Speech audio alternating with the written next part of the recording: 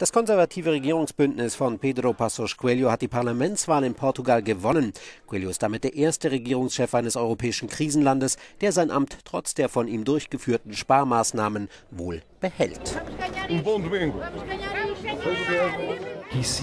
Er gilt als ruhiger, zurückhaltender und ehrlicher Mensch, auch wenn die Opposition viele Widersprüche aufgezeigt hat zwischen den Versprechen, die er vor der Wahl 2011 gemacht hatte, und seinen anschließenden Handlungen. Some promises he made uh, before the uh, 2011 election and what he ended up doing.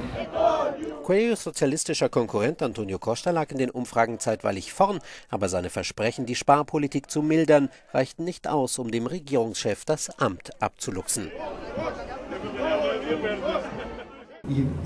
Costa gilt als jemand, der sich nicht klar von der vorigen sozialistischen Regierung abgrenzt. Diese endete mit einem Rettungspaket, was die Menschen sehr verärgert hat.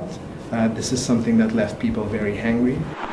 Im Vergleich zu 2011, als das Land am Bankrott vorbeischrammte und den drei Rezessionsjahren, die folgten, hat sich die Wirtschaft leicht erholt. In diesem Jahr liegt das Wachstum bei 1,6 Prozent.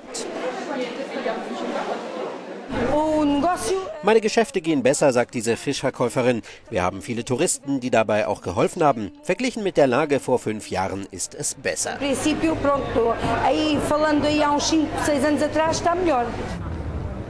Allerdings hat die konservative Regierungskoalition Coelhos im Vergleich zu 2011 gut 600.000 Stimmen verloren. Die Enthaltung war mit rund 40 Prozent sehr hoch. Viele Portugiesen scheinen angesichts der Sparpolitik resigniert zu haben.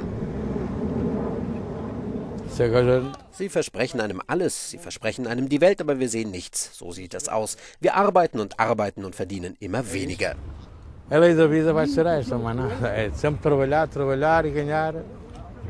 vez menos. Die Arbeitslosigkeit ist von ihrem 18% Höchststand im Jahr 2013 auf derzeit 12,4% gefallen.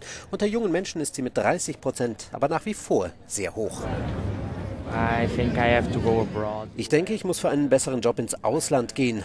Daran denke ich, seit ich angefangen habe zu studieren. I've got that in my mind since since I entered the university. Im Parlament ist die Linke nun in der Mehrheit. Der erste Test für die neue Regierung wird also in den kommenden Wochen die Verabschiedung des Haushalts für 2016 sein.